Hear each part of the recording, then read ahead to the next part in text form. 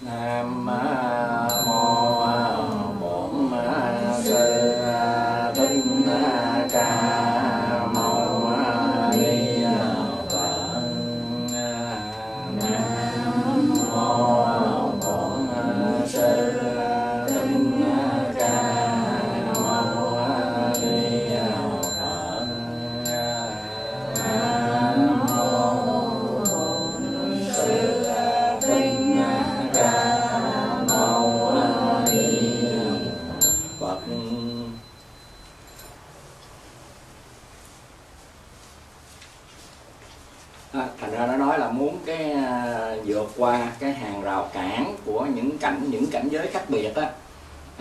phải có những cái pháp ha, mình tu để mình vượt qua cái à, cái bản ngã ha, của chính mình tức là cái cái bản ngã của mình tức là đạt được cái vô ngã và vượt qua cái bản ngã của tất cả các pháp. Thì đem các pháp đem vượt qua cái bản ngã của pháp á, thì đem pháp này nhập vô pháp kia mới được. Cũng như mình nói là đem nguyên cả một cả nguyên tam thiên đại thiên thế giới bỏ vô một cộng lòng ha, thì đương nhiên phải rạc phải vượt qua cái rào cản về cái chấp trước cảnh giới. Chấp trước là là là thế giới hay chấp trước về mấy cái kia thì mới được. Thì muốn được vượt qua những cái đó ha, thì cái cái mà khiến cho cái sự duyên dung vô ngại của quan nghiêm quan nghiêm mà nó thành tựu á trước khi mình đi pháp quán á, thì đương nhiên mình sẽ có cách thực hành là nói về về về pháp giới quán của tổ độ thuận thấy không? Thì mình phải hiểu được những cái nguyên lý mà khiến cho tất cả các pháp mà nó có thể nó vào trong nhau mà nó không bị chướng ngại ha, thì tất cả đều đặt để trên cơ sở về cái giáo lý tinh không. Thì hồi sáng mình đã nói là cái hai cái cái lối nhìn tánh không của bên thanh giang ha, và cái tánh không của ngài long thọ rồi. Thì thực sự ra là quý vị muốn nghe kỹ thì quý vị ra cái ban tánh không á là mình ở đây mình không phải là cái chánh của của quan nghiêm. Nhưng mà quan nghiêm nó nó phải căn cứ vào những giáo lý này để nó hiển dương được cái lý của cái quan nghiêm là là tất cả các pháp bao hàm nhau hết và tất cả các pháp không bị chướng ngại với nhau. À, vì do các pháp không bị chướng ngại với nhau nên người kia bệnh mà chữa người này nó mới hết bệnh. À, nói cho con phải nãy tôi nói nãy nói với con phải là nói chơi mà cái đó là sự thật. À, ngài pháp thuận ngày ngài này đã có nói đó con ngựa ít trâu ăn cỏ à, mà con bò ở ở cái trâu nào nó no. À, mà khai gì đó cái người kia trị cái bệnh tìm một cái người để trị bệnh à, thì hãy chữa vô trong cái chân của con heo. Tức là đem người kia nhập vô con heo mà chữa. Thấy không? thành thử ra đây là một giáo lý có thật mà khi mình muốn vô giáo lý này á, là mình phải hiểu được cái lý tại sao làm. Rồi sau đó đó nó sẽ có những cái pháp nó gọi là những cái quán pháp để thành tựu cái chân lý đó. Thì mình đã nói rằng là cái nhìn thứ hai đó nhìn về giáo lý tánh không nó nói là sở dĩ cái đó làm được là nhờ giáo lý tánh không. Bởi chỉ trong có tánh không thì các pháp nó mới viên dung nhau được thôi. À, mà tánh không tánh không là một cái gì có thật. À, hồi nào tới giờ mình nhìn cái pháp là có đó là mình bị cái những cái cái nó gọi là những những cái cảnh giới về cảnh giới của mình đó, nó không phải là cái thấy biết giống như chư Phật. Cái cảnh giới của mình thì cảnh giới do nghiệp. Hay nó sanh. À, thành ra trong cái thế gian này bản chất tất cả các pháp nó đều là chân không hết. À, mà mình thấy nó cái gì nó cũng là có có là mình chấp vô vô nó. À, chẳng hạn như thí dụ như trong kinh điển nó nói như nước vậy đó. À, chúng sanh thấy là nước. À, một à, rồi các loài cá đó thì thấy là không khí. À, loài chư thiên là thấy là, là gọi là ngọc châu báu. À, thấy nhìn nước như, ngọc vậy đó. À, còn ngạ quỷ thấy là lửa. Thì bản thể của cái nước á, chúng sanh mà hãy gì thấy được á, là tại vì cái nghiệp của chúng sanh thấy nó là nước thôi. À, nếu mà cái nước mà nó cùng một lúc nhiều cõi giới thấy khác nhau tức là nhiều cảnh giới khác khác nhau thì bản thể nước không có thật.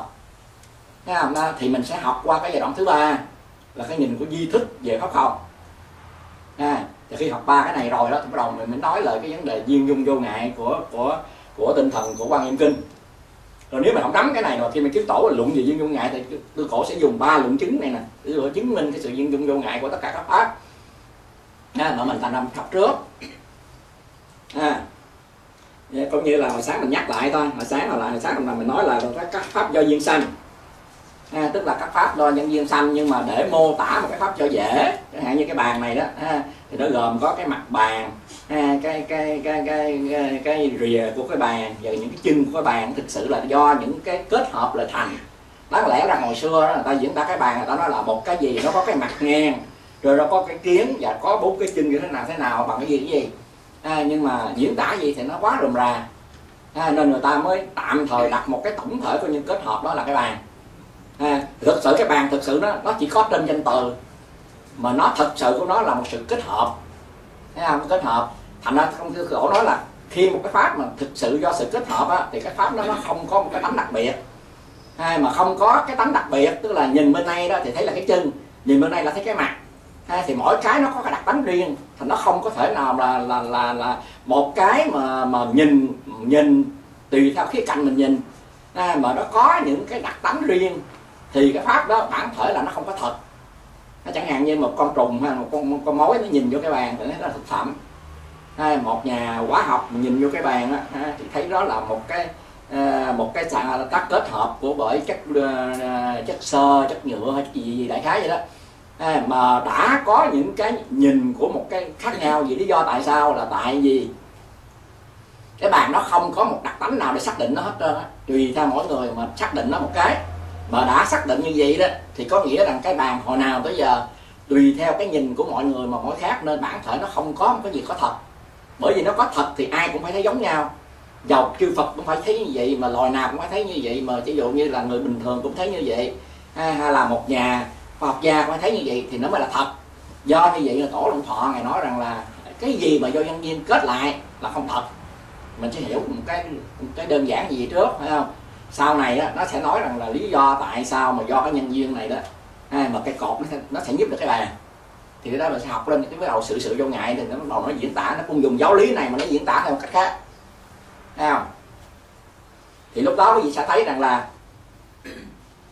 à, vì cái vì, vì cái cột này nè nó là cái bàn. À, nhưng mà cái bàn nó tồn tại cũng giờ nhờ vách tường nhờ đất đai xung quanh nên cái nên tết tụ bởi nó nó mới thành ra cái bàn. Cái bàn đó là do một cái nằm trong không gian này hay nằm trong địa cầu này nằm trong cái chùa này và chùa này nằm trong uh, thành phố ờ, uh, Phò Thành Ba Lây vân vân vân. Nên bây giờ thành nó nó liên quan mắt xích đó, nên tôi muốn làm cho cái bàn này hư là tôi đụng cái ngoài sân Ba Lây á. Thấy không một hồi gì sao học được cái cái chân lý này. Bây giờ chân lý này mình tạm thời chấp nhận là tánh không đó nha chưa nói các pháp mà do do do nhân duyên kết tạo thành á thì chính ngay cái cái này nè là cái bàn. Ha, chính ngay cái này là cái bàn. Ha, mà chính vách tường này là nó cũng là nhân duyên để cho cái bàn xuất hiện ở đây nên vách tường này là cái bàn.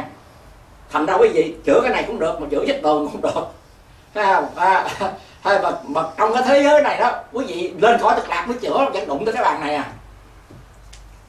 cả một thế giới nó dính liêu nó bắt xích với nhau phải không? Đó, bởi vì chư Phật nói là ngay trong một sợi lông một di trần mà thấy mười phương khỏi Phật. Nó dính chằng với nhau nè. Đó, mình nói cái này thì mình thấy trong cái cảnh giới của mình không cách nào mình tưởng tượng được tại vì mình chưa được cái cảnh chứng đó. Thành ra là hồi sáng trước khi tôi nói cảnh chứng tôi nói về kinh nghiệm à, cái người nào phải cùng một kinh nghiệm mới thấy giống nhau. Thấy không? Mình là kinh nghiệm của người thì không thể nào mình thấy có kinh nghiệm giống là cá được là cái là cá là kinh nghiệm riêng của nó. Nó thấy ở trên không là, là, là nước là trên không. Mình không cách nào mình thấy giống như là cá được. Thành ra muốn diễn tả một kinh nghiệm thì cái người đó phải cùng một cảnh giới. Nói họ mới hiểu. Chẳng hạn như bây giờ tôi là cảnh giới của nhà là y sĩ thì tôi phải nhìn cái gì là thuốc là thuốc là thuốc hết. Thấy không? Thành ra khi mà tôi nói cái cái kinh nghiệm của y sĩ đối với một cái người bình thường thì người bình thường sẽ không chấp nhận. À, tại vì họ nằm không đồng cùng cảnh giới. Thực sự ra là tôi nói là tất cả một pháp ngay trong một pháp rất là nhỏ là vô lượng vô biên cảnh giới nó nhập vô trong đó.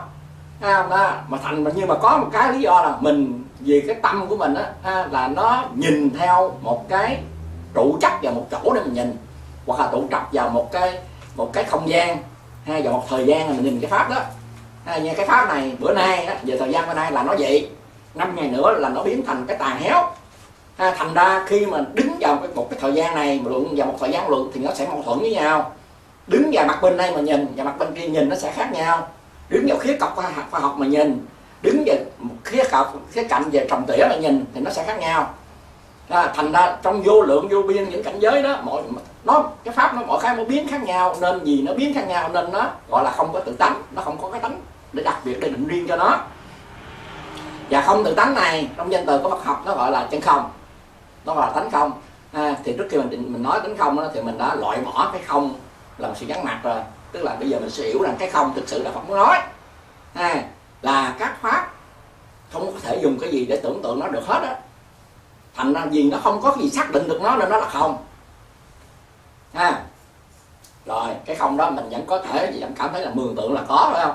Trong đó mình vẫn thấy là mường tượng là có. Bây giờ đi cái không này nè mới thực sự là hết tưởng tượng luôn. Thấy không? cái không thứ ba đó là của di thức. Không? di thức có nói tất cả pháp do tâm hiện. Cái đầu tiên của nó tất cả pháp do thức thức hiện à, thiền tông nó nói tất cả pháp do tâm hiện. Thì có nghĩa là gì? Có nghĩa là gì? Cái này nó không có thật và là tâm của tôi. À, nhưng mà bởi vì, bởi vì nhìn thấy có thật không? Nó là thật rõ ràng phải không? Làm sao là tâm? Nhưng mà di thức có nói những chúng sanh phóng hiện trong tâm thức chúng sanh phóng hiện thành cảnh. À, và những chúng sanh cùng một cái dòng nghiệp thì cùng thấy cảnh đó. Khác dòng nghiệp thì không thấy tức là nó nói là tất cả hình ảnh trong thế gian này từ cái nhà cái núi dòng sông cái biển là do tâm thức của chúng sanh và cộng nghiệp của chúng sanh phát hiện ra.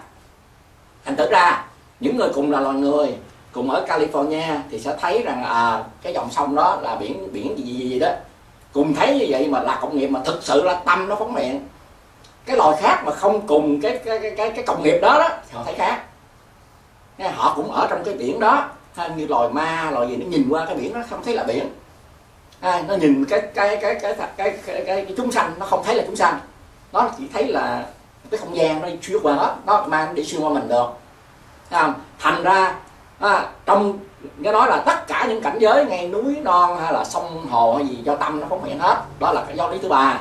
Do lý thứ ba là di thức là tất cả các pháp do di tâm biến hiện. Nhưng mà nói đó ra vậy thì bây giờ đâu chấp nhận phải không?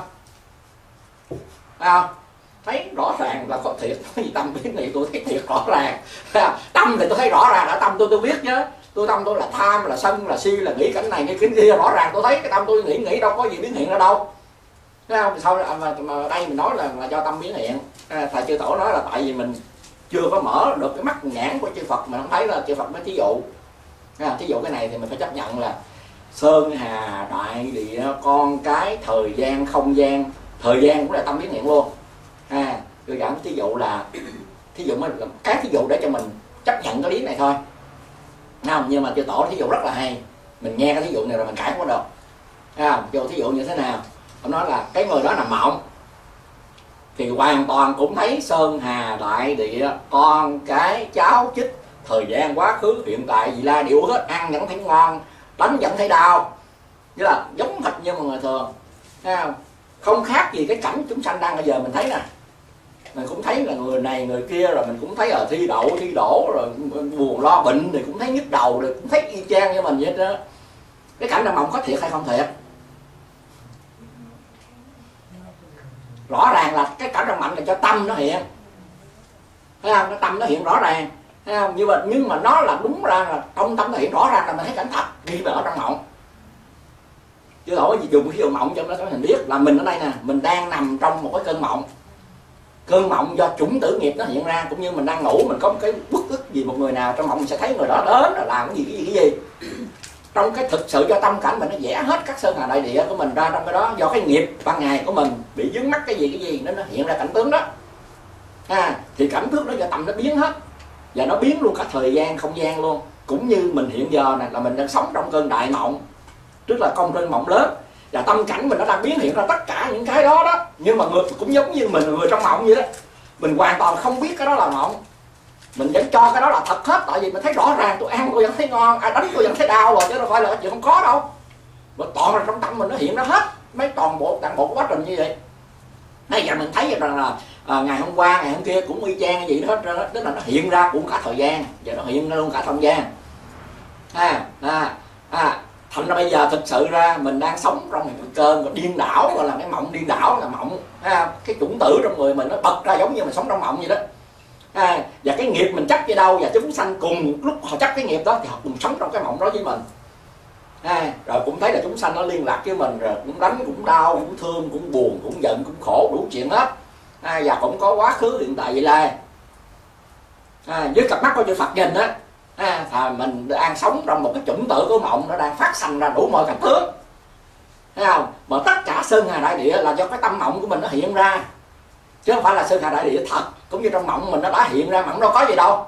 Mộng nó đó không có hiện ra không nó là bản thể, nếu mà cái tâm nó hiện ra, cái tâm mình nó không có gì hết trơn nhưng mà nó có núi trong mộng, nó cảnh tướng trong mộng, hay nó có món ăn trong mộng, hay nó có những tình cảm thương buồn trong mộng, nó có quá khứ trong mộng, nó có vị lai trong mộng, nó hiện tại trong mộng, y chang như của mình vậy đó. Cái này là mộng tổ minh dụ cho mình thấy. À, để từ từ từ từ phá cái quan niệm của mình là là có thật. À, tại vì trong mộng mình vẫn cho có thật. Nhưng mà khi thức tỉnh khỏi mộng thì mình biết nó là giả. À, thành ra cõi này đó mình muốn muốn muốn thức tỉnh khỏi cái điên đảo cõi này đó thì mình phải giác ngộ. Khi mình giác ngộ mình có cái lối nhìn của của chư Phật đó, thì mình thấy là tất cả các pháp là những ảo bằng hết không có gì có thật hết á. À, cái này là một tay dùng một cái thí dụ minh dụ của duy thức để nó chứng minh. À, rồi bây giờ người ngoài mới đặt câu hỏi anh duy thức như thế này. Ha? Nếu tất cả cái gì cũng là trong mộng hết trơn á thấy không? Thì không lẽ lấy cái tâm cái tâm mình cái tâm mình để cảm giác một cái vật này một cái vật thể này mà cái vật thể này cũng là tâm nữa thì lấy cái nào cảm giác được cái nào? Bây giờ cái này do tâm biến hiện nè. Nếu mà giải thích theo mộng á thì tất cả những cái vật này là tâm biến hiện hết. À, thì trong người mình á nó cũng có cái tâm trong mộng mình cũng có cái tâm. Rõ ràng là mình trong mộng mình rõ ràng là có cái tâm để thấy một vật chất một cái pháp. Bây giờ mình thấy cái món ăn đó mình ăn vô mình cảm thấy no. Thấy không? Là mình hưởng dụng cái pháp đó. À, thì ở ngoài tâm mới giống thấy không? À, vậy thì không lẽ cái tâm mình thấy được cái tâm? Nó đã là tâm rồi là sao nó thấy được cái tâm được? Nó phải thấy cái gì khác cái tâm nó mới thấy chứ phải không? Đó bây giờ cái người ta người ta giống cái gì đó. Thấy không? À, thì mấy ông chữ tổ mới trả lời. À, cái này là tổ trả lời chứ không là tôi. Ờ, à, chấn tôi tôi cũng bí à. không? À, cái tâm mình thấy được cái tâm làm sao thấy? À, nhưng mình ờ, mà cái tâm nó đã khởi ra là mình sao mình thấy được cái tâm đó? Mình thấy một cái gì cái gì cái này phải là khác cái tâm thì cái tâm mới nhận thức được. Thấy không? À, như như nói bàn tay mà nắm bàn tay sao nắm? Bàn tay mình nó phải nắm cái gì khác bàn tay thì nắm mới được. Thấy cái bàn tay mà nắm bàn tay sao nắm? Cái này gọi là nắm tay thôi chứ mà nắm bàn tay. Ít nhất á, nếu nếu mà mà mà, mà nếu mà tôi mà, mà cái tâm mà thấy cái tâm thì đó cái đó phải khác tâm. Ý là họ nói vậy đó cái này không phải là tâm trong mộng nữa mà cái này là nó là một cái gì hiện ra ngoài nó là cái có thật. Ông nói tôi mộng hiện ra tất cả những cái hiện ra sơn hà đại địa tâm ông hiện ra sơn hà đại địa đó. Giờ tôi vấn ông cái này ông phải trả lời cho tôi. Nếu hiện ra đại địa là không lẽ là cái tâm của ông là thấy cái tâm của ông sao? Thấy không? À, à, kêu cái tâm của ông à, là tấn năng thì ông nắm được cái gì thì đó phải là cái sở. Tức là một cái để nó trụ vô để nó nắm nó bắt. Thấy không? Còn bây giờ tự nhiên là nó nắm cái nó thì làm sao nó nắm được? Nhưng mà nó con mắt mà nhìn được con mắt nó sao nhìn? Con mắt phải nhìn một cái gì khác. Thấy không? Đại khái chị là bắt đầu là bên cái là mà cái đó cũng tổ đặt cái câu đó để ông trả lời. À, hồi xưa ông đặt xong tôi ngồi tôi nghĩ tôi nghĩ suy nghĩ ra tôi nói ủa sao kỳ vậy nè? Nó cũng có lý. À, à, đó cũng có lý nhưng làm sao mà mình suy nghĩ ra? Thì thì cho tổ trả lời vậy nè. Thật sự không có cái nào nắm bắt cái nào. À, mà chính ra vì cái đó do tâm hiện để tâm thấy nó tự động nó hiện để thấy. Hiểu nổi không? Nếu cái tâm nó không muốn thấy thì nó không thành hiện. Thực sự cái này là trong tâm hiện ra cho mình thấy. Không phải nó nắm mắt mà chính là tâm của mình. Nên nó hiện ra mình chắc là mình sẽ có thấy nhưng mà thực sự trong tâm mình nó hiện ra để cho tổ mới thí dụ. Như cái người mà tu về thiền định ha, quán tất cả những cái à, những cái pháp bất tịnh nó tướng sình thúi tướng dơ bẩn họ nhắm mắt cảnh tướng nó vẫn hiện. Cảnh tướng nó hiện họ mở mắt cảnh tướng vẫn hiện. Họ có thành tựu cái định lực rồi đó thì họ thấy tất cả những cái pháp đều là ô uế dơ bẩn. Thấy không? Tâm họ hiện hết. Cái tâm họ thành tựu cái định lực tự động nó hiện ra cảnh. Thấy không? chứ không phải có một cái tâm nào nhìn cái cảnh đó mà chính cái tâm mình hiện ra cảnh nên tự nhiên mình thấy được cái cảnh đó. Nhưng mà cái sai lầm của mình á, là mình cho rằng mình có một cái để nhìn nó. À, thành ra nói là chư tâm muốn cái nghiệp của mình muốn cho mình thấy cái gì đó tự động tự động nó hiện cái đó trong tâm của mình. Nhưng mà mình cứ tưởng là cái đó ở ngoài. Hiểu không? Ý họ nói gì đó. Đó thành ra từ trong cái mà mà mà mà mà mà, mà hữu vị thức có nói đó tất cả ảo tưởng của thế gian này đó nó là hợp lại đó. Ha thì nó một cái duy nhất thôi là tâm. À, nhưng mà trong tâm nó chia làm hai. Ha một cái là tâm phân biệt. Ha, một cái là tâm không phân biệt.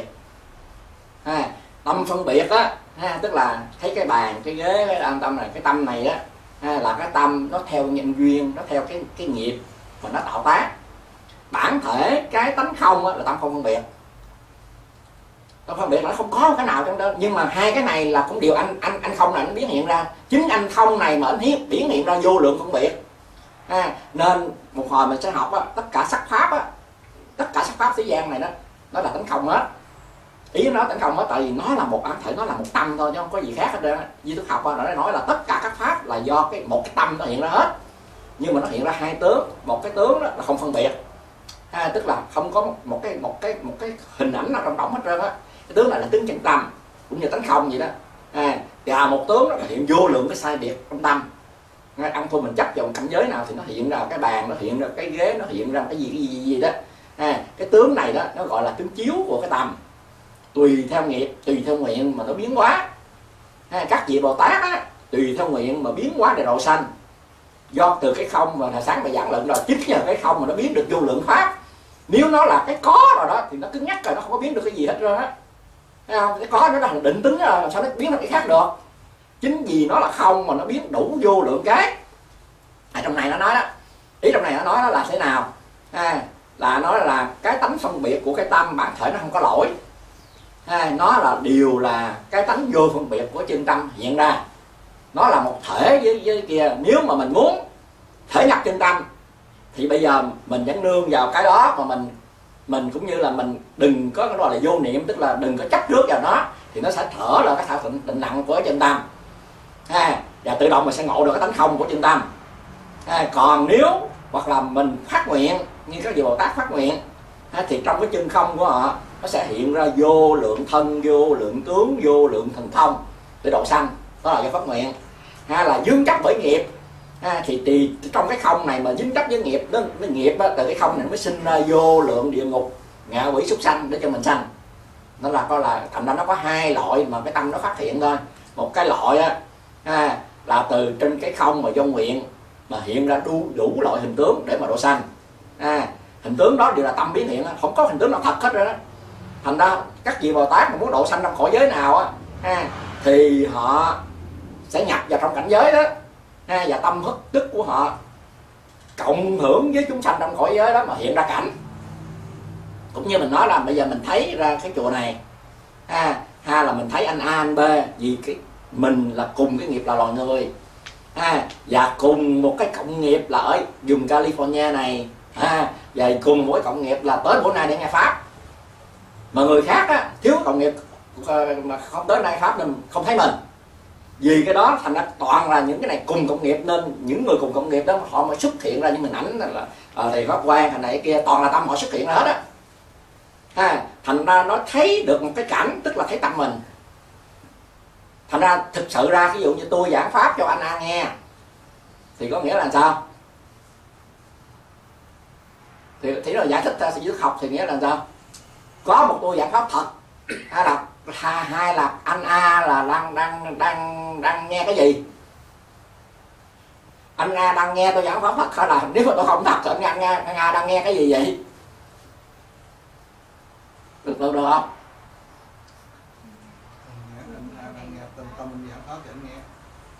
Ờ, anh A đang nghe thầy pháp quan trong tâm của ảnh giảng chứ không phải. Chứ không phải là thầy pháp quan ngoài. Khi mà anh qua anh đóng cái tâm anh lợi là thầy qua có nói hoài không có nghe à. Không? vì cái tâm của ảnh á thành ra khi tôi giảng pháp cho một người đó à, thì cái người đó, đó đang nghe cái tâm cái hình ảnh của tôi trong tâm đó giảng cho người đó. Và tôi đang giảng cho những người trong tâm tôi nghe.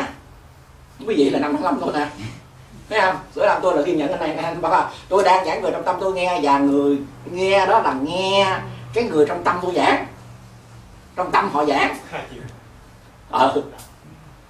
Nếu là gì học nó nhận định là nó nhận định vậy đó chứ không có cái tướng ở ngoài cái tướng tâm này là do do ảnh hiện trong tâm của họ. Thấy không? À, ảnh hiện trong tâm của họ. Tại vì thực sự ra, ra đó là ảnh hiện thật. Nếu mình nói với nhắc trong giấc mộng mình mới hiểu.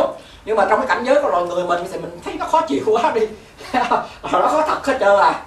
Thấy không? Thành ra chư tổ có dẫn dụ trong cái cái kia đó. Thành ra nói là tất cả đều phóng hiện trong tâm mình hết trơn thành ra nghe cũng là nghe cái phóng hiện trong tâm của mình. Thấy không? Thực sự họ đang mở cái tâm ra để họ nhận ảnh tôi vô. Thấy không? Họ mở ra tâm tâm ra để nhận tại cùng nghiệp nó mới nghe được hình ảnh đó cái người điếc cũng cũng cũng như vậy mà họ không nghe. Tại vì cái tâm của họ cái nghiệp họ chặn cái đó lại. Tức là không có cái nghiệp để mình nghe âm thanh. Thấy không? thực sự nghe được là cái tâm họ đang có hình ảnh của tôi đang có tiếng nói của tôi nhưng mà giống nhập định vậy đó. À, họ vào quán cái sắc tướng và tự nhiên mở mắt cũng thấy sắc tướng đó nhắm mắt mà sắc tướng nó hiện hiện trước mặt. Thấy không? Đó thành ra họ mới họ mới nói tới thần thông. À, bây giờ nói cái bên bên bên nó nó dễ nói thần thông này nói gì tới học thần thông thì trùng giống như nguyên thủy vậy đó. Nguyên thủy nó nói là cái người tập định thành tựu rồi đó. Ha giờ muốn muốn thăng thiên muốn bay lên trời thì họ tưởng cái gì? Trong tâm của họ đó họ nhập vô cái định đất hay là quán cái gọi là casino đất. À, cái đó cái đất. Thì trước mặt họ hiện ra một giải đất. Họ đi lên kịch, kịch, kịch bước lên. Người ở ngoài á họ thấy họ đang đi trên không khí. Và bay trên không? Đó. Cái này là bên nam tông á. Cái cái không cái cái cái, cái thành tịnh đạo nó nó dạng nó sư nó giảng về tất cả các lối tiền tịnh rồi nó giảng về năng lượng thần thông. Họ muốn động thủy họ muốn động thổ thấy không? Thì họ sẽ nhìn cái đất. Họ quán đất thành hư không? Họ họ vô nhập vô cái casino không? Hư không? Thì lúc đó trước mặt họ hiện ra một khoảng hư không. Thấy không? Đất lúc đó không thấy đất nữa họ hiện hư không. Cái họ đi trong hư không. Mà mình ở ngoài á thấy không? Là cái cái nghiệp của mình không cùng với nghiệp của họ mình sẽ thấy nó là đất. Hư không nó không có thật. Bởi vì họ mới đi xuyên qua được. Nếu hư không khó mà, lại là cái gì có thật ông làm thông sao đi? Ông có thằng thông mà hư mà, mà, mà, mà, mà đất là cái gì có thật là thằng thông cũng chịu chết rồi. Thấy không? Rõ ràng nó không có thật nhưng khi họ nhập vào cái cái gọi là biến xứ mà khai giờ không á thì họ thấy hơn trước mặt họ hiện ra một khoảng hư không. Thấy không? Họ đi xuyên qua núi. Mình thấy thấy rõ ràng là núi tại vì công nghiệp của mình mình không phải là cái nghiệp chung với họ mình không có đạt trạng thái định nên cái nghiệp mình không đồng nghiệp với họ. Nên cộng nghiệp của mình chung quanh là mình phóng hiện ra là ngọn núi. À, còn họ do cái định lực do sức của định lực nên họ phóng hiện ra ngọn núi đó đó thành ra hư không. Thành ra họ sẽ đi hư không tự tại ha, mà mà có chỉ có người thằng thâm thấy rõ ràng là hư không? Tại vì cùng nghiệp với họ. Thấy không? Còn mình á thì mình mình cùng với nghiệp là tất cả chúng sanh xung quanh nhìn thấy núi thì ông này đang đi xuyên qua núi. Thấy không? Rồi cho rằng là ông kia có thần thông đó, thì cái này là dẫn chứng kinh điển là ngoài à, cái này là trong thâm tiền đạo nó nói là các thắng trí tức là cái năng lực thần thông phát sanh như thế nào. À, họ mới diễn tả là vấn đề độn thổ độn thủy đi trên không đúng là, là toàn là là là, là do định lực không à? Do do tưởng tưởng cái là thành ra nếu mà họ tưởng mà họ đi được tức là cái pháp thế gian phải không thật. Phải không? Phải không thật. Nhưng mà mình mình á trong cảnh giới của mình thì mình thấy nó như vậy. À, bởi tôi nói là cái kinh nghiệm mà muốn diễn đạt á là một kinh nghiệm để cho quý vị hiểu là quý vị phải cùng một kinh nghiệm cùng một cái cảnh giới với họ thì quý vị mới hiểu cái nói. Còn mình là loài người đó ha, thì mình sẽ thấy theo cái loài người. Ha, mà các vị la hán có thành thông á ha, cái thấy của họ là khác mình nên họ vẫn bay nhưng mà trong cái bay của họ rõ ràng là họ đang đi trên trên một cái giải đất. Mình thấy họ đi trắng khéo rồi không đi qua đi lại đi tới đi lui. Ha, mà rõ ràng thì trong tâm của họ thì họ thấy đất đàng hoàng. Cho tâm họ biến hiện hết họ đi một cách tự tại vậy đó. Nhờ tất cả những người cùng rắc với a la hán họ cùng trình độ a la hán họ thì thấy tướng đất hiện ra để họ đang đi như vậy. Thấy không? Tức là tức là ý này đã nói là tất cả cảnh giới trong sơn hà đại địa này đó do những tâm thức của chúng sanh cùng với cộng nghiệp chúng sanh phóng hiện ra giống như trong một cái cái cơn mộng. Ha giáo lý này này này quý vị ờ, chấp nhận không? Nếu mà nó diễn tả về mộng thì mình chấp nhận không? Đúng không thành ra tôi ý tôi nói ý tôi muốn nói đó cái cảnh giới của chư Phật á mình nghe mình, mình khó tưởng tượng nên chư Phật phải dùng cái dẫn dụ thấy không? Để từ từ đưa mình gọi là tiếp cận thôi. Mình muốn thấy giống như chư Phật ha, thì mình phải nằm trong cái kinh nghiệm của ông Đức Phật cũng như mình muốn thấy tất cả tất cả các pháp là thuốc thì mình phải học y khoa. Thấy không? Tất học y khoa thì mình nhìn pháp nào cũng là thuốc, thế mà mình cùng cảnh giới với cái ông ông y sĩ thì mình nhìn là thuốc. Còn nếu mình học về khoa học kỹ thuật hay là mình học về cơ khí thì mình nhìn nó hoài, nó không ra thuốc à. Dầu mình bỏ cả ngàn năm mình nhìn nó cũng không ra. Thành tôi nói là một pháp. Nếu mình không vượt qua cõi giới loài người đó thì mình tập cái pháp hoài mà cứ nghĩ trong cảnh giới loài người thì nó sẽ, dầu mình tập một cái ngàn lần, một triệu lần nó cũng dít trong cõi giới loài người không nhưng mà sáng mình nói thí dụ á nhưng mà cái người đó uống nước ha thì dầu uống co cho đó một triệu ly hai triệu ly thì nó vẫn thấy là nước. Chỉ trừ trường hợp người đó ha qua một cảnh giới mới ha là qua cảnh giới ngạ quỷ hay qua cảnh giới chư thiên á hay mới thấy nước là ngọt. Hay là tập đắc được thiền định ha, thì cái tâm thức nó tương ứng với tâm thức thiên thì lúc đó mở mở mắt nhìn nước thấy nước nó sẽ chói ánh sáng giống như ngọc vậy đó. Thấy không? vậy là nước nó không có thật hay hoặc là nếu muốn vượt qua cảnh giới của nước bình thường nữa thì phải đi học lên đại học. Dùng khoa học thực nghiệm dùng ký sinh di đồ rọi trong nước mới thấy nó là hydroxy thấy không? Thì mới thoát khỏi cảnh giới của nước và vượt qua một cảnh giới khác là cảnh giới của hóa học. Thấy không? cảnh giới hóa học là nước là cấu tạo hydro oxy. Thấy không? Chớ nếu mà không có một dụng cụ không có một phương pháp không có một kỹ, kỹ thuật để vượt qua cảnh giới mà mình bị ràng buộc đó thì giàu có uống ly nước có một triệu lần cũng vậy có nghĩa là sao biết không? Một pháp mình tu á mà không phá được cái tính chấp trước của mình á, tu hoài nó không có đắt tu hoài nó không nằm trong cảnh giới đó à cũng như mình uống ly nước vậy đó. Ít nhất cái tâm mình phải rộng mở ra. Cái tâm mình rộng mở, tức là vượt qua cảnh giới đó, thì cái pháp nó mới lên một bậc, hiểu không? Lý do tại sao tu pháp hoài mà nó dướng, biết không? Là dướng vào cái ngã. Cái ngã mà cái ngã mình vẫn có thể thăng tiến được đó, cái ngã nó càng ít thăng si, nó tiến mình thành ra nhiều khi mình, cái tham si mình ít mà tu pháp nó dễ nó dễ tiến cái tham si vẫn vậy tu pháp hoài đi. Nó vẫn vậy à. Là tại vì không đổi cảnh giới. Cái tham mình hồi trước 100 phần, bây giờ nó cũng 100 à. 10 năm sau nó cũng 100 dầu niệm của thần chú nó một triệu lần cũng vậy à. Thấy không? Cũng như bây giờ đi nước á. Thần chú là gì? Là những âm thanh. Thấy không? Cảnh giới người không có niệm, nghe âm thanh đó cũng thấy giống như giống như mình thôi. Tức là thần chú không phải là do dân niệm chú, mà nó khác người không niệm chú người niệm chú hay không niệm chú. Cùng một cảnh giới với nhau, cùng loại người nhau, đều nghe âm thanh giống thịt nhau hết trơn á. Cũng mở miệng niệm âm thanh, không có gì sai biệt. Thấy không? Nhưng mà tại sao cái người niệm chú thời gian họ lại tăng tiến được? Là tính gì cái tham năng si họ diệt? Họ thoát cảnh giới ràng buộc của tham năng si, tức là ngã họ diệt, họ lên một nếu bản thể của mình khi mình không diệt, dầu mình đọc hút trăm triệu lần rồi đó cũng là âm thanh, lúc mình nói tập à. Thấy không? Mình không có bỏ cái rào cản cảnh giới của bản ngã thì mình tập hoài mình sẽ dính vào bản ngã đó hoài. Cũng như là mình uống nước hơn một triệu lần đi nữa. Không cách nào mình thấy nước là hydroxy hết trơn á. Thấy không? À, à, nếu mà học còn nếu mình có uống nước cả triệu lần hay này kia nữa thì không cách nào mình thấy nước là ngập hết trơn được không? Mà tập thiền định. Chỉ có năng lực thiền định nó mới vượt qua cảnh giới của loài người để lên cảnh giới của sắc giới nó nhìn. Thấy không? Thành thử lý do tại sao mà tập pháp hoài mà cảnh tướng nó không chịu xài ra. Không phải lỗi là cái pháp không có linh hiệu. Thấy không? Mà tại vì mình không có vượt khỏi cảnh giới của mình. Tức là cái bản thể của mình hồi nào tới giờ nó giữ nguyên, nó không chịu đổi gì hết á. Thành thử ra là giới là những cách nó làm ngăn chặn cái cái ngã của mình đi. Đó là những năng lực để nó xả thành giới. Ngã ra, ngã xả chừng nào thì pháp nó tiến chừng đấy. Tính hàng rào cản của bản ngã mà khiến cho mình bị ràng buộc trong cảnh giới của mình. Thấy không? thành ra mà phải nói là cái môn pháp nào, pháp môn nào nó cũng lấy giới làm cơ sở vì giới là, là cái thô để mình trừ cái bản ngã. Thấy không? Nhưng mà mình tập giới hoài mà nó không trừ được thì mình vẫn nhìn vậy à. Thấy không? Giới nó phải thấm vô trong người nó thấm tầng ruột gan mình nó trở thành bản thể của mình. Thấy không? Mà khi nó trở thành bản thể của mình nó đụng vào cái nào cái bản ngã tự nhiên mình thức từ. Tự nhiên mình cảm thấy cái này mình đã tập rồi tại sao mình thả thấy không? Từ từ. Thì mới thoát được cái quay lực của bản ngã. Và khi thoát được gần cả cả thì nó nó thoát được quay lực của ràng buộc của cái nghiệp. Bản ngã là cái nghiệp nhìn pháp thấy không? Mà thoát cái bài đường pháp pháp đó giờ không tập nó cũng hiện là cách khác.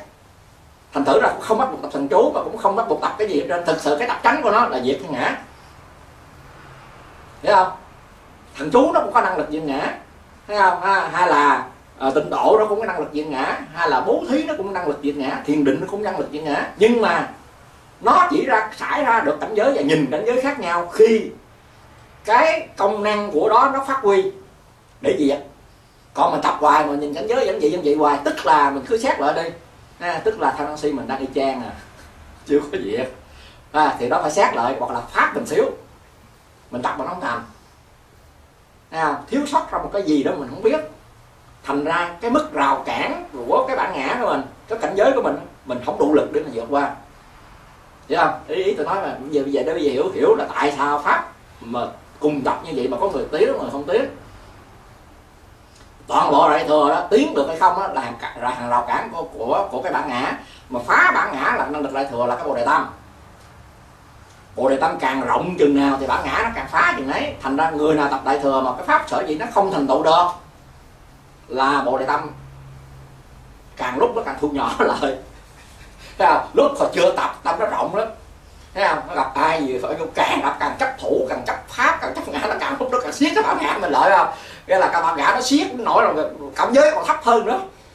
Hồi xưa tâm còn rộng mà còn thấy cảnh giới nó bao la hơn chút mà nó siết càng siết lại thì càng mới là nó nhỏ nhen nó đô kỵ nó đấu tranh thấy không? Thì càng lúc cái pháp á, nó trở thành ra là cái cảnh giới nó càng thấp hơn cảnh giới của loài người nữa. À, cái điều gì biết lý do tại sao tập pháp mà cái pháp nó chậm. Thấy không? Quý vị phải biết, biết cách đổi cảnh giới.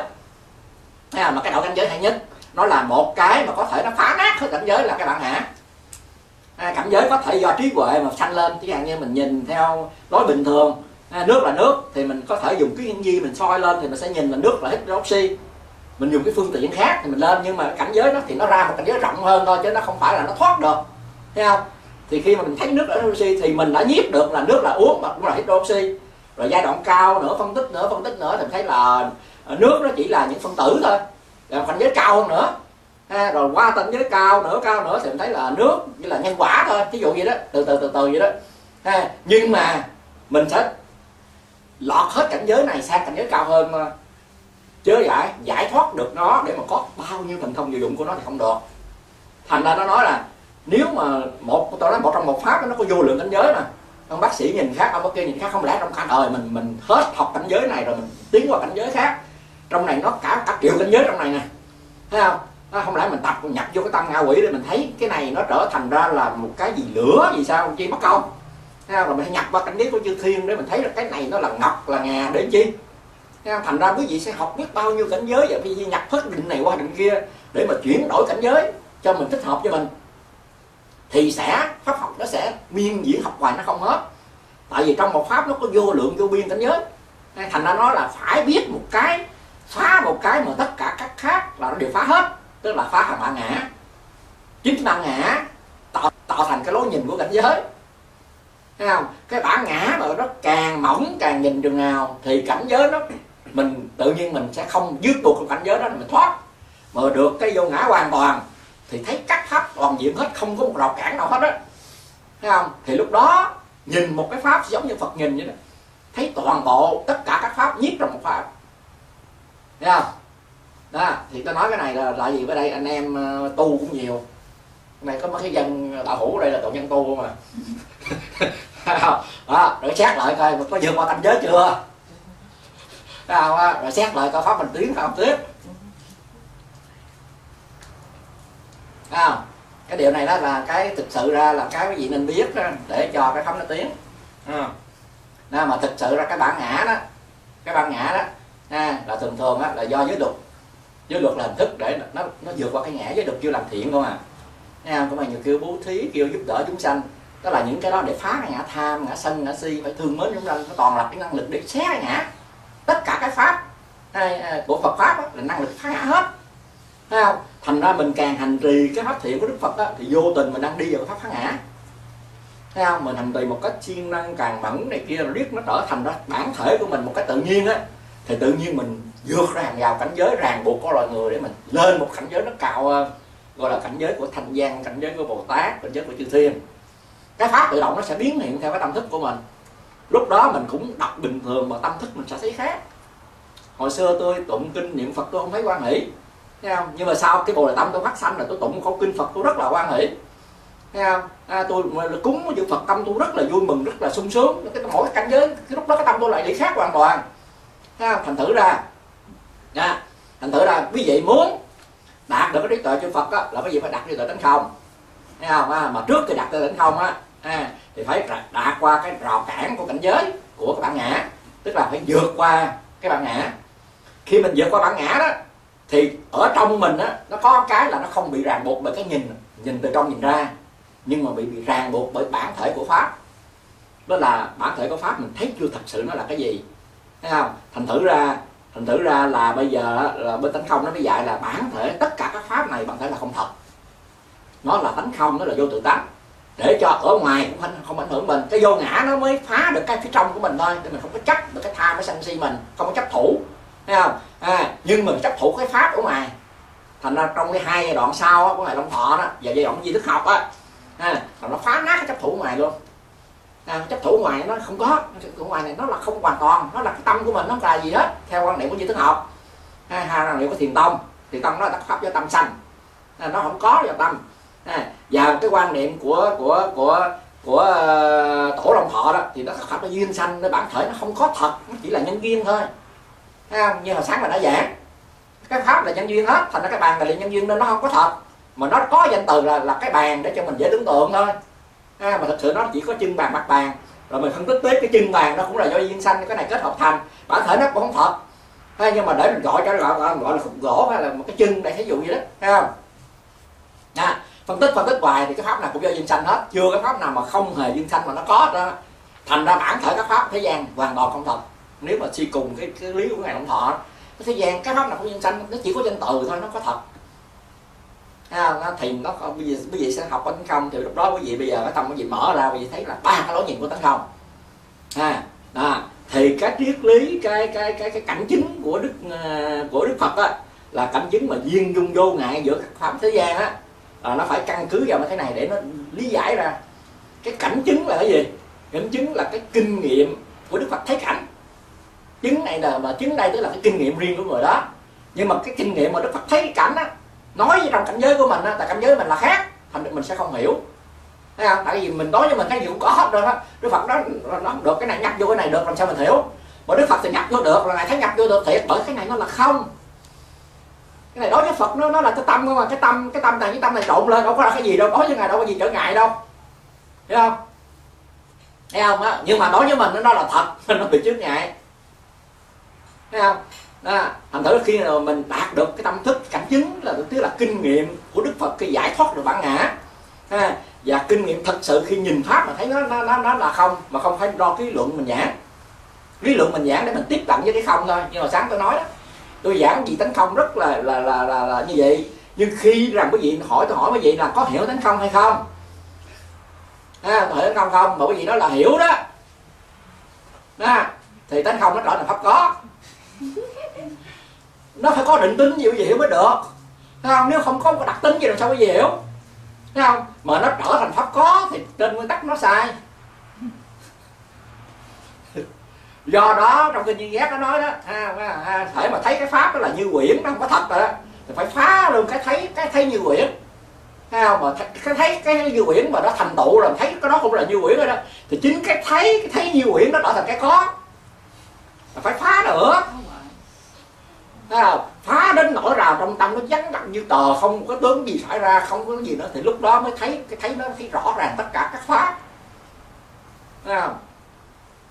thành thử ra như thầy tổ long thọ mới nói đó vì có pháp không vì có pháp bất không tức là chắc có à, nên mới có pháp không. Pháp không này đó để phá chấp có thôi à, nếu à, mà cho pháp là không à, nếu mà chắc pháp là không thì chư Phật không thể độ được. Cái không đó mà chấp nhận cái không là việc lúc đó không cách gì độ nữa hết trơn á. Phá hết để cho được không, bây giờ mình đã chấp cái không, làm một cái để mình thủ vô, tức là trong tâm mình có một cái gọi là không, tức là có cái có nào đó, nghĩa là không. Thì làm sao còn gì để gỡ nữa? Người ta, cái pháp có ta gỡ để đừng dướng mắt, phải không? Đừng lại dướng mắt cái không cái không làm cái gì để phá được, cái không có chỗ để phá. Hiểu không? Thì con không có chỗ để phá, không làm cho có chỗ để phá thành thử là lúc đó nếu chấp cái không thì mấy ông nào mà gọi là gọi là gọi là gọi là chịu đựng nhiều đó thì họ sẽ dấn mình cái không của mình. Để cho mình định nghĩa là định nghĩa không như thế này như vậy đã cái rồi hỏi vậy là trong tâm anh có một cái khái niệm về không phải không? À, à, đương nhiên phải có khái niệm mới diễn tả được chứ. Không? Hỏi mà im lặng rồi chứ đâu có gì khái niệm. À, khi họ nói họ nói đã có khái niệm gì không? Thì trong đầu ông đã có cái tướng của khái niệm cái tướng đó đó là cái tướng của chấp trước được không lúc đó họ phá là phá cái đó thì họ phải khéo léo họ chặt từ từ cho mình. Thành ra cái người mà chấp có đó, thì dễ ấn độ lắm. Ha một cái người mà chấp cái không mà không không trúng á cái không mà như cái nói cái không nó cái không trúng á là phật nó rất là khó độ. À, thành nó chấp có như núi tu di vậy đó mà vẫn còn độ được. Vì, gì phá là dễ lắm có cái tướng nó phá dịch tướng đó. cái không là phá hết tất cả cái sắc để có cái không rồi. Không? Thành được còn cái gì để phá được nó nữa? Không? chỉ có khách là vẫn dụng đàng hoàng vẫn dụng đàng hoàng để cho từ từ họ lòi ra cái của họ chấp thấy không? À, cái này vẫn chứng lời một cái ông tổ. Ông kia đó ông lại thăm viếng lại cho tổ. Thì hỏi hỏi à, à, ông tới đây có mang gì không? Thấy không? Ông kia ông nói à, một pháp còn không có mà còn mang cái gì? Thấy không? À, ông nói là ông tụ được tấn công rồi. Một pháp không có đâu còn mang cái gì nữa. À, thì cho tổ mới nói hãy bỏ xuống. Ông nói một pháp không có mà không có không có mà còn mang cái gì mà làm sao bỏ xuống? Ông nói gì hãy mang lên. Ông kia ông ngộ đó tông á quý vị hiểu sao? Hiểu sao? À, ông kia nói không tôi đã đọc tâm không tôi không có mang cái gì tới là tâm tôi đã không rồi. Thấy không? À, thì ông kia nó hãy bỏ xuống. Ông kia thấy rằng ông này không có mang cái gì nhưng mà mang cái tánh không. Không ông mang cái không ông không biết. Ông tưởng ông xong rồi. Ông kia mới bỏ xuống. Ông phải bỏ xuống là bỏ cái chấp trước ông tánh không đi ông kia ông cũng chưa ngộ nữa ông mới nói là à không có cái gì mà làm gì bỏ xuống. Chứ ông chưa thấy là ông đang trụ vào tấn công ông kia ông nói hãy mang lên. Thấy không? ông vẫn còn cái ông mang theo. Thấy không? lúc đó ông ông đánh hai cái vậy đó ông mới thấm. Rõ ràng ông mang tấn công thấy không? Đó, khi à mọi người chưa khi mà ông phá bỏ tấn công rồi đó thì ông giải thoát. Thấy không? Đó thì cái đó là cái nhìn thứ cái nhìn đó là cái nhìn thứ ba. Nha nghe về tấn không? À đây là mình à, quý vị ít nhất phải nắm ba cái này thì quý vị mới đi vào cái pháp giới duyên dung vô ngại của đại thừa nói của bên quan nghiêm kinh được.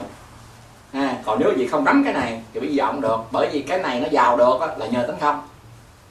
À, thì cái này khi tất cả những cái gì xuất hiện đều là tâm của mình thì mình mới đem cái tu duy mình bỏ trong đầu được à, nước tu di đó đó là cái sự chấp trước thôi bạn phải nó có thật như cái núi trong mộng thôi à. Thấy không? núi trong mộng nó không có thật. Thấy không? thực sự trong người mình nó nhỏ xíu tại sao trong mộng? Mình thấy núi tu di bự như vậy? Thấy không? Mình thấy con núi thì nó vẫn bự. Cái tâm mình xuất hiện nó vẫn có tướng bự tướng nhỏ. Và trong mộng mình thấy nó y chang là cái núi thật.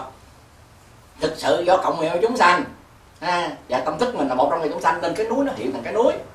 Cái núi bản thể nó không phải là cái núi nó là tâm mình xuất hiện khi mà giác ngộ rồi đó mới quá ra cái núi là ảo quá. Nên đem cái núi bỏ trong cái đầu được.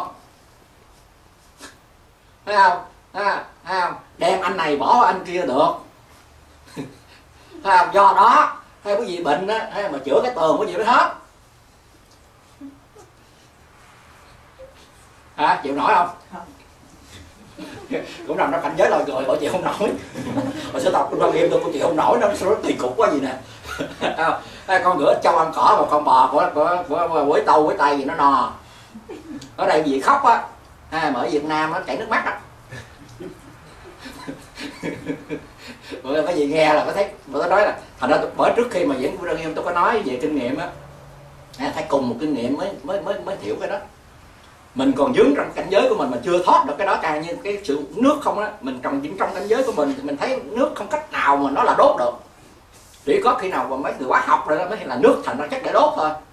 Tại vì nó là hydro và oxy không? mình trong một cảnh giới mà mình còn chưa thoát nổi nó cảnh giới loài người thôi đó mình chưa thoát nổi nó huống gì cảnh giới chư Phật. Thành ra cái diễn tả của chư Phật là diễn tả cái sự cảnh giới tự chứng cái là có thật ngài làm được như vậy. Không? Nhưng mà trong mình ràng buộc trong cái bản ngã đó, thì mình bị chướng ngại mà làm được. Thấy không? Đó. thành thử ra thử ra cái này nó hay đó cái này tôi thí dụ cái này phải nói là một pháp nhiếp là cả pháp. À, chẳng hạn như một cái này nè một cái này nè nó nhiếp hết cả đạo trường này cho mình dễ hiểu đi. Đạo trường này cho nó dễ. Mình cảm thấy khó chịu rồi. Mà nó nhỏ vậy mà đạo trường nó nhiều gì sao nhiếp được? Thấy không? À, à, mà nó thực sự nó nhiếp được hay không? Thì ông tổ ông nói thôi bây giờ cái pháp này đó tại vì nó là mình không có thấy được cái kia mà lấy cái kiến để lên. Thấy không? Cái kiến để lên thì dòm vô thấy trong này có hết phải không? Nó nhíp hình ảnh mình trong này gì? Thì thực sự nó có nhíp mình hình ảnh trong này không? Mình nhúc nhích nó có nhúc nhích đâu. Trong này nó, mình nhúc nhích mình động tĩnh gì trong này nó rồi nhúc nhích động tĩnh hết trơn á, tức là nó nhíp mình trong này chứ gì? Thấy không? Mà mình vẫn tự tại ở ngoài, mà nó vẫn nhiếp mình. Hiểu không? Cái kiến tại sao mình chấp nhận nó nhiếp được mà cái này mình không chấp nhận nó nhiếp nó đang nhiếp mình mà tại vì mình không thấy thôi. Tại cái kiến nó có cái gương nên mình thấy cái tiếng nó đặc biệt nó nhiếp mình nhưng đặc biệt như như bây giờ mình nói nè tôi lấy như cái cái quay phim á. Nếu cái này đó kiểu gì không thấy hình ảnh hiện ra như tôi đặt máy quay phim đây thì thấy rõ tại vì cái máy quay phim á nó có một cái công cụ cái công cụ nó trợ như cái, cái cái cảnh giới của mình. Tại cảnh giới của mình phải có công cụ đó mình mới thấy nó nhiếp vô. Thấy không? Bản thể khi bất cứ cái gì nếu nó đặt ở đây mà nó nhiếp được á thì tất cả pháp đặt ở đây nó đều nhiếp cái gì được hết.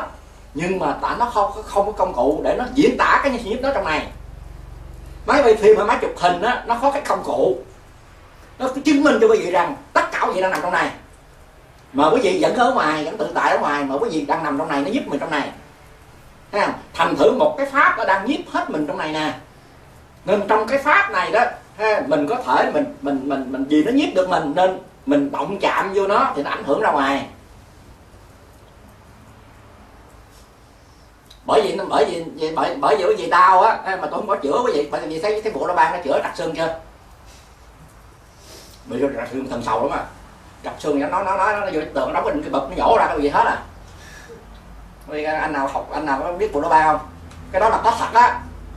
Dạ cái đó em có nghe nói. À nó có thật á. Nó đâu có chữa gì đâu đóng chết tường á. Thấy? Đó, bữa có đọc chú đọc bùa gì mà không biết đâu nó nhổ ra hết trặc à. Cái nhà đâu có sang mấy cây số hết trặc và đó là cái thần thông thôi nha thần thông diệu dụng thôi cái đó là thần thông ngoài đạo thôi đó. Thấy không? Nhưng mà cái đó là một kinh thức là thực sự ra chữa cái này đâu có đụng chạm gì tới mình tại sao hết vậy? Thấy không? Đó thành thử bây giờ một cái môn diện chẩn á. Cái môn diện chẩn là một cái minh chứng bây giờ để do bao tử nó chỉ trên mặt không à. Trên mặt mình là cả một cái bộ vị của cái cơ thể học của mình. À, tượng trưng cho bao tử ruột gan vậy đó. Thấy không? À, nhưng mà nó vẫn còn dính mình là còn dở rồi đó. Thấy không? Rồi sau này mấy người cao siêu nữa nguyên lỗ tai à, là có cả một cơ thể mình chăm chăm cho đâu cũng hết bệnh rồi đó rồi nhiều người nói nguyên cái lỗ mũi. Vì còn dở tôi sẽ hiểu bao nhiêu mà đó. Thấy tôi sẽ nói trong ngón tay này. Thấy không? Đâu tử tôi chăm chỗ nào chỗ nào nó là vậy mà còn dở? Cái tường kìa. Quý vị bệnh chăm vô cái tường có gì hết là cảnh giới quan nghiêm là cảnh giới vậy. Nhưng mà lúc đó mình phải vô được cảnh giới quan nghiêm thì mình mới thấy là người này tương nhiếp với cái tường. Thì mới thấy chỗ đau rồi đó nằm trong cái tường chứ cho mình mình chăm lại rồi mình lụi vào chỗ khác á. Thấy không? Nhưng mà mình muốn như vậy mình phải vượt qua cái cảnh giới của cái thấy của loài người thì mới vượt qua cảnh giới trên. Ha, mà tất cả rào cản mà về cảnh giới đó là rào cản của bản ngã. Ha, thành ra phải diệt ra cái bản ngã. Ha, mà diệt một phần bản ngã thì lên một cảnh giới cao hơn một chút nó có hai cách hai cách để để mà để để mà đạt cảnh giới cao. Một cách là nhờ dụng cụ. Chẳng hạn như nhà bác học như bác sĩ là nhờ chứng những di nhờ cái này kia mà thấy được những cái di tế trong cái này. Nó họ thấy không phải cái qua đơn giản như mình mà họ thấy tế bào họ thấy những cái này cái kia. Ha họ thấy được thuốc thấy men nằm trong này. Tức là họ nhờ những cái dụng cụ bình thường chứ họ nhờ dụng cụ đó để họ vượt qua cảnh giới. Ha, còn với con mắt của mình đó, không có dụng cụ đó mình vượt cảnh giới không được. Ha, tức là họ dùng những dụng cụ khoa học kỹ thuật để họ có lên một cái cảnh giới cao hơn cái họ nhìn xuống cảnh giới thấp. Ha à, còn chư phật á ha là dùng tánh không phá cái bản ngã để mình vượt qua những cảnh giới. Tại vì cái bản ngã thì bắt buộc sẽ, sẽ có cái ngã nó nó, nó, nó, nó, nó, nó nhìn một cái pháp theo dụng cụ của nó. Chỉ có vượt qua cái ngã mới thấy được toàn bộ tất cả các pháp nó nằm hết trong này và thấy trọn vẹn của nó. Cái ngã chấp của mình khiến mình nhìn pháp nó méo lợp. Cái pháp nó có giá trị nó có định danh được là cho thằng ngã nó định. Thấy không? vượt qua thằng ngã rồi. Cái pháp nó không có một danh từ nào để định được. Nó vô tự đắm nó không định được. Thì lúc đó mới nhìn đúng thực chất cuộc một, một cái pháp thật sự. Thành ra mình nhìn một cái pháp nào mình mình cho rằng nó có một đặc tính nào nó có một cái hữu dụng nào nó có một cái gì cái gì nó thực sự ra là mình cho nó có tâm thức mình nó vẽ ra hết. À, thành ra trong cái kinh quan em nói tất cả cái, tất cả các pháp á cái tâm của mình như vị họa sư vậy đó. À, vẽ ra tất cả các pháp. À, tức là toàn là ảo quá hết đó thấy không? Đây là họ nói về cảnh giới của chư phật. À, thành ra cái này cũng là giờ cái tâm mình nó vẽ cái kia cũng là cái tâm mình nó vẽ à, thành ra không cái nào có thật. Không cái nào làm có thể mình trôi vào địa ngục được, không cái nào làm có thể là mình sanh lên thiên đàng được. Vì nó lão quá hết. Nó đâu có cái nào làm tạo được cái gì. Thành nó nói bản thể sanh tử mới là thanh tử niết bàn là bản thể nó là một rồi. Nó không có. Thành ra trong cái kinh cuối cùng của bác nhã nó mặc nó vô chứng về chỗ đất chứ là phật đâu có gì đâu đắc đâu không có gì để chứng? Không? nhưng mà họ đạt được cái gì? Họ đạt được cái chứng thật sự là tánh không. Và vì nhiều cái đó họ mới có câu là vô chứng vô đắc. Rõ ràng là họ có thấy được tánh không. Thấy không? À, nhưng mà ta thấy tánh không rồi mà nói chứng đắc của tánh không thì cho tánh không là một cái gì thành nó kẹt. Khi họ nói câu đó tức là họ giác ngộ rồi. Thấy không? Chứ không phải họ nói vậy rồi mình nói vậy vô chứng vô đất tôi khỏi tù. À, họ thấy thực sự bằng kinh nghiệm thấy không? thành ra họ nói là thực sự không có chứng đắc à, là họ thấy bằng kinh nghiệm thực sự là lúc đó họ giác ngộ không có thấy cái đó. Còn bây giờ mình nghe câu đó mình chấp vào vô chứng vô đắc nó đã vô chứng vô đắc thì cần gì phải tu? Cần không? cần gì phải gì tu mới có chứng. Không? cần gì phải đạt được là báo tu là có đắc. Mình nằm trong ranh giới của mình rồi mình lấy cái đó mình ứng dụng vô thì nó đi tè le đắc lắc đắc lắc đắc lơ. Không? À, là nó sẽ bị đọa lạc không có pháp nào tu nó sẽ đọa. Tại vì cái tâm mình bản thể là pháp. Bản thể là chấp tham chấp sân chấp si thấy không? Nếu mà không có gì nương tựa thì cái thằng đó nó sẽ hoạt động sẽ ngã tham ngã tham ngã si thì từ từ từ từ mình sẽ đi xuống. Thấy không? Khi người nói nó không chứng câu đắc là họ nói bằng kinh nghiệm chứ không phải bằng lý luận. Thấy không? Họ thấy thật sự như vậy thì nói